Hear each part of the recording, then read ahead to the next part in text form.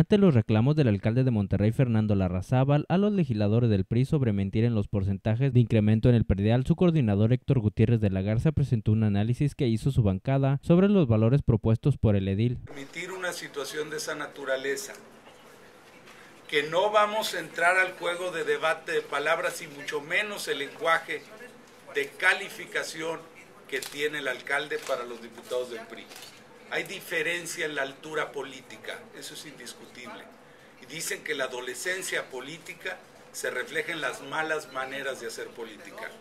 Pero sí tenemos documentos que justifican lo que en este momento estamos señalando. No voy a entrar al juego de su reto, de las renuncias aquí está justificado.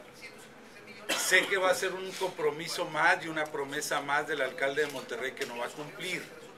Prometió renunciar si se le justificaba. No, no, desconozco cuál sea su finalidad y no voy a entrar en ese juego.